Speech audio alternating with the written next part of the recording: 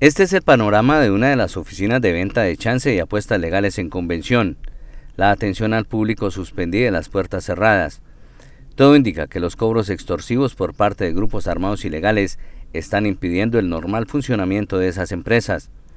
Sin embargo, las acciones de las autoridades ya están dejando resultados con la detención de personas, entre estas una menor de edad, miembro de una banda que tiene como objetivo el comercio que maneja premios en efectivo.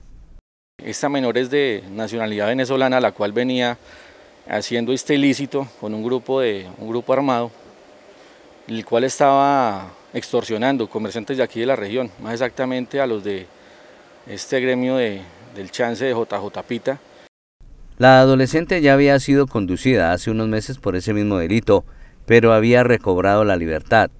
La investigación continuó y se expidió una nueva orden de captura. La mujer y su banda tenían definida la forma como abordar a sus víctimas.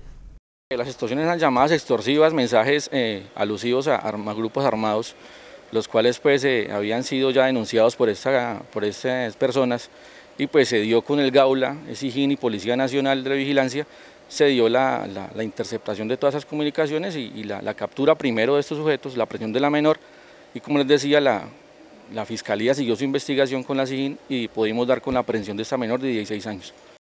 Entre tanto, la situación para las empresas de apuestas legales no sería la mejor en convención, pues en esa localidad fue atacada con una granada una de las oficinas en la madrugada del domingo 4 de septiembre. Fue un ataque con explosivos que dejó en evidencia que ese tipo de negocio es blanco de la delincuencia.